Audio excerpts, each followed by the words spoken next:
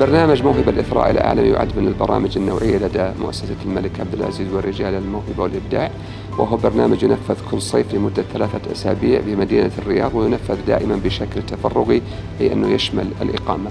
ينفذ برنامج البنين لدى جامعة الملك سعود وبرنامج البنات لدى جامعة الأميرة نورة بنت عبد الرحمن.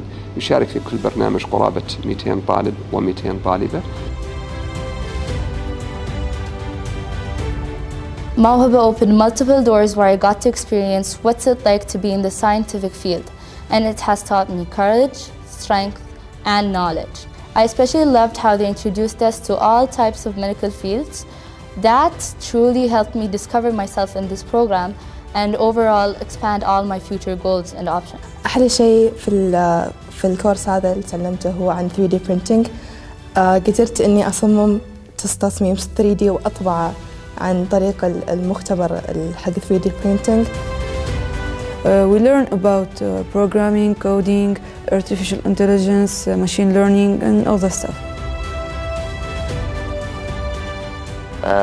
كما وفرت لنا في هذا البرنامج العديد من الوحدات الإثرائية التي لا تدرس إلا في أماكن قليلة في العالم مثل التخصص الذي أدرسه الآن وهو الفاينانشال آه، وإلى جانب الوحدات الإثرائية هنالك أيضا محتوى مهاري يتضمن آه، مهارات الإلقاء وكتابة السيرة الذاتية والمقابلات الشخصية.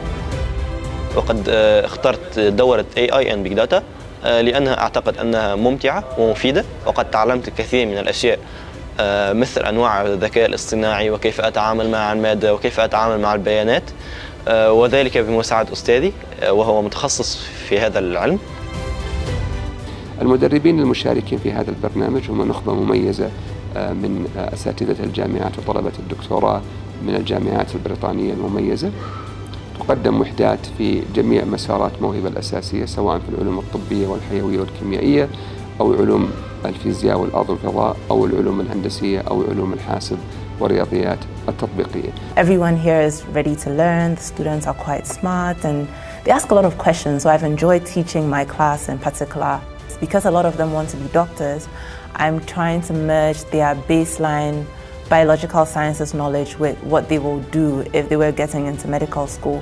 When we talk about the heart, they get to check pulses and listen to how the heart beats. The girls are very excitable and they really enjoy activities such as like a Kahoot quiz, um, doing labs and creating rockets and doing experiments. This year I'm taking the Global Health and Economics course, or as my tutor would like to call it, Global Health and Sciences. The course consists of many studies such as the study of medicine, vaccines, and so much more. The classes are very interactive, which makes it attentive but also very interesting. وتعلمت البرنامج مجموعة من المعارف المثيرة مثل أجهزة موجودة في جسم الإنسان، تكوين هذه الأجهزة، عضلات عضلات لم أسمع بها من قبل مثل الدايفرام وأشياء زي كذا يعني. ف استفدت منها بشكل كبير الحمد لله.